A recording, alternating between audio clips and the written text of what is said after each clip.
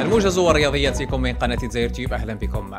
بداية أعلنت إدارة فريق شباب الوستاد اليوم الأحد تعاقدها مع الحارس السابق لفريق مولودية الجزائر فريد شغال ونشرت إدارة شباب الوزداد صورة لشعال مع الترحيب به بطريقة الفريق الخاصة.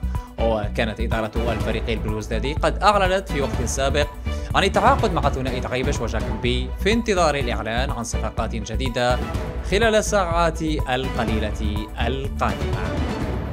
في خبر آخر مشاهدينا الكرام بدأ الرياضيون الجزائريون منذ أمس السبت الالتحاق بالعاصمة الفرنسية باريس تحسبا للمشاركة في الألعاب الأولمبية المقررة ما بين السادس والعشرين جويليا إلى غاية الحادي عشر أود من هذا العام. والتحق الفوج الأول صبيحة أمس السبت بمقر إقامتهم في القرية الأولمبية بباريس والتي تزينت بالراية الوطنية تمهيدا لاستقبال ممثلي الجزائر في انتظار مشاركة مشرفة للرياضيين الجزائريين في هذا المحفل العالمي. في أخبار محترفين لمح دولي الجزائري إسماعيل بن ناصر إلى رغبته في الاستمرار مع نادي اي سي ميلان الإيطالي. رغم الاهتمامات الكثيرة بخدماته. وكان قد ارتبط اسم بن ناصر بمغادرة الرسونيري الصيفة الحالية في ظل رغبة أندية دوري روشن في التعاقد معه.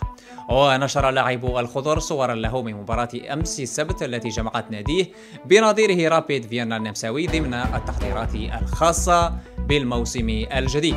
وأرفق بن ناصر الصور بتعليق قال فيه شهر من أجل التحضير جيدا في إشارة منه إلى عدم نيته في الرحيل.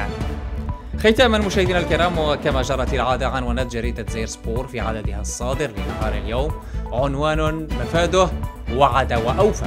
في إشارة للخبر السار الذي تمثل في تدعيم فريق اتحاد خنشلة بشركة اتصالات الجزائر. قرار. كان رئيس الجمهورية السيد عبد المجيد تبون قد وعد به أنصار الفريق خلال زيارته للولاية.